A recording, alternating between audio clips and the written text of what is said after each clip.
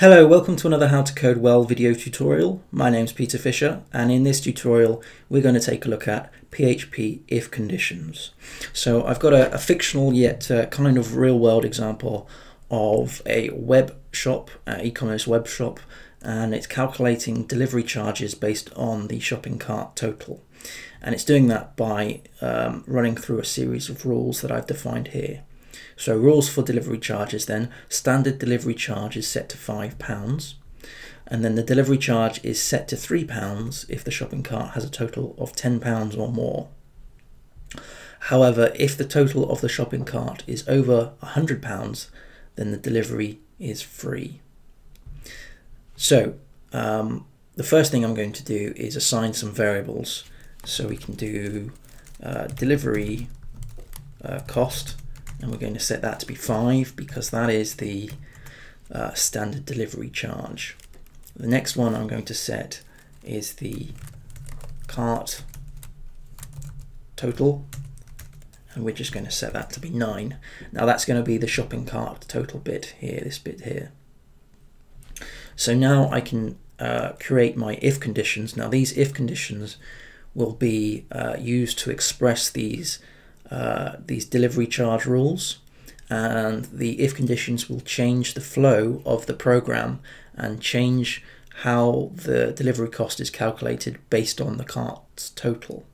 Now in PHP when you when you uh, format or create an if condition you do it like so. So you have an if uh, case uh, if and then brackets and then in, the, in those brackets you run a condition. So it's condition A and if condition A is true, then you run a statement. So statement A. Now if condition A isn't true, you fall into an else section and you run statement B. Oops. So in PHP you can also chain if uh, if conditions together. So you could have an else if and we run condition B and we can also have another else block in here. So that will run statement C. So let's uh, let me just explain what I've done here. So we're saying if condition A is true then we run statement A. Else if condition B is true so if condition A isn't true but condition B is true then we run statement B now, if neither of these are true, we fall into this bit here, which is the, the, the last else section, and we run, we execute statement C. So basically we have um, three possible outcomes. We have statement A, statement B, or statement C, and they depend on whether condition A is true or condition B is true, or if neither of these are true, then statement C is run. So now I can apply um, the these delivery uh, rules and put them within the if block here and change the flow of the program and change the delivery cost based on the cart total. Okay, so let's um, let's do that now. So what we need to do is look for what the condition is and what the statement is. So we're going to take a look at the first one here. So the delivery charge is set to £3 if the shopping cart has a total of £10 or more. So in this case, the condition is this bit here where it says if the shopping cart has a total of £10 or more. And the statement that we would run, if that is true, is to change the delivery charge to be £3. So let's add the condition. So the condition is checking the cart total and we're checking it that the checking the value of the cart total is greater than or equal to 10 so we would uh, put in an, a greater than symbol and then an equal to 10. Now this is the, the operator here. So where the cart total is greater than or equal to 10. And if that is true, then we run statement A. Now statement A is changing the delivery charge to be 3. So we can change that here. So that's setting delivery cost is equal to 3. Okay, so that's the first one sorted. So the second one then is this bit here where it says, however, if the total of the shopping cart is over £100, then the delivery is free. Okay, so in this case, this, the uh, condition is this bit here where it says if the total of the shopping cart is over £100. The statement in this case is this bit where it says then delivery is free. So the condition is cart total is greater than 100 and the statement is um, whoops delivery cost is equal to zero. So we're saying uh, if the cart total is greater than 100, then we're going to set delivery cost equals zero. Now, what can we do with the default section? Well, the default section will be setting the delivery charge to the standard delivery, which is five. So we can move that bit into here. Okay, so what I'm going to do now is just quickly echo out some bits and pieces. So we're going to echo out the um, the cart total, and that is going to be concatenated with the whoops, that's not right, with the cart total, like so. We're also going to um, create some new lines. So let's just run that as a new line, and then I'll just quickly copy that, put that there, change that to be the delivery Whoops.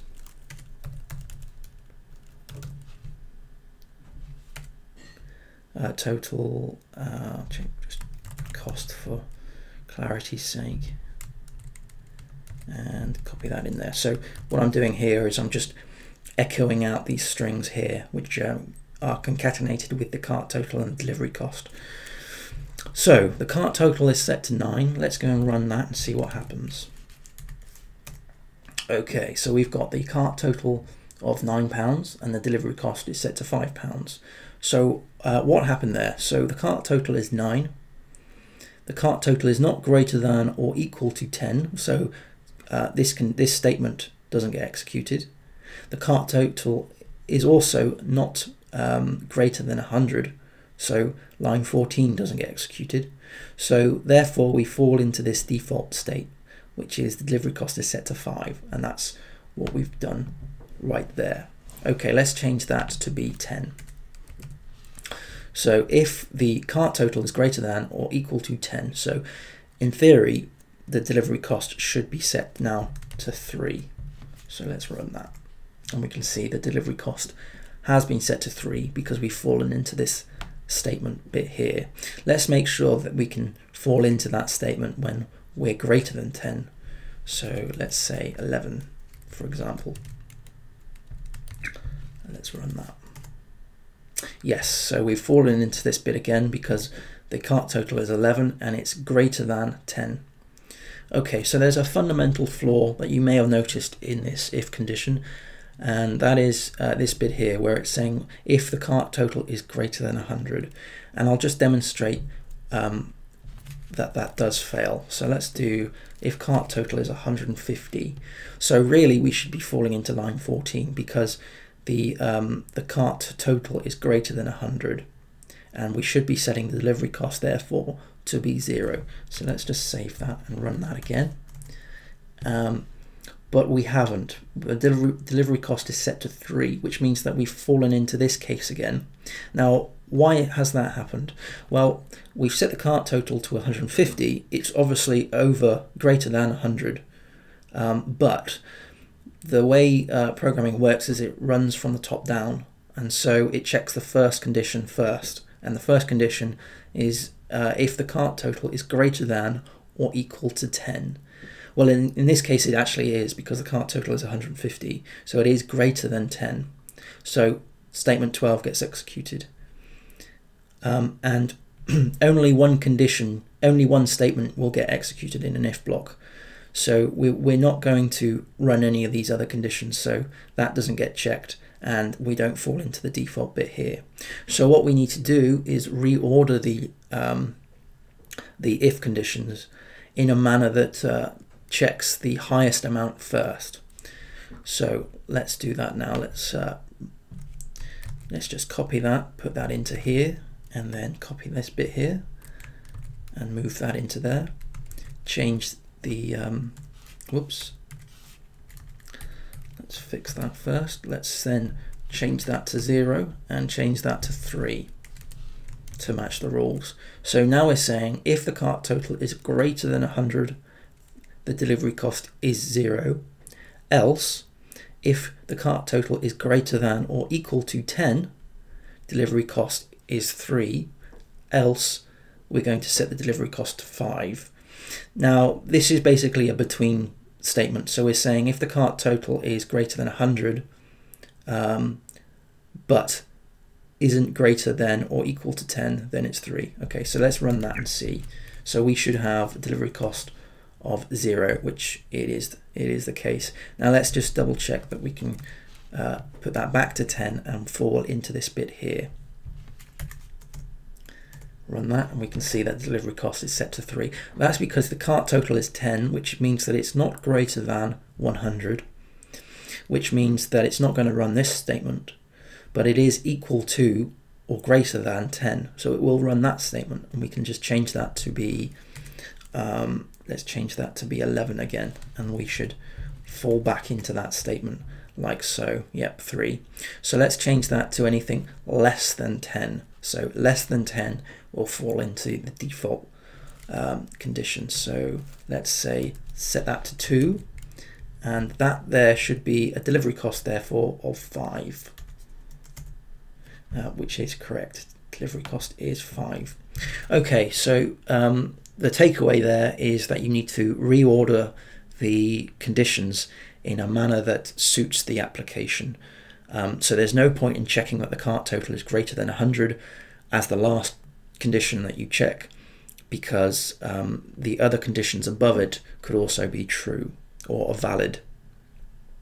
Okay, so that's a, a quick and simple example of how to use if conditions in PHP and I've used a ecommerce um, delivery rule or set of delivery rules to explain that. If you've got any questions then please do let me know. Thank you for watching. Please click the like button if you found it useful and make sure to subscribe to get the next tutorial. If you have any comments, questions or queries then please leave them in the comments section below. Alternatively, you can tweet them to my Twitter handle which is PFWD. Thanks again, and I'll see you soon.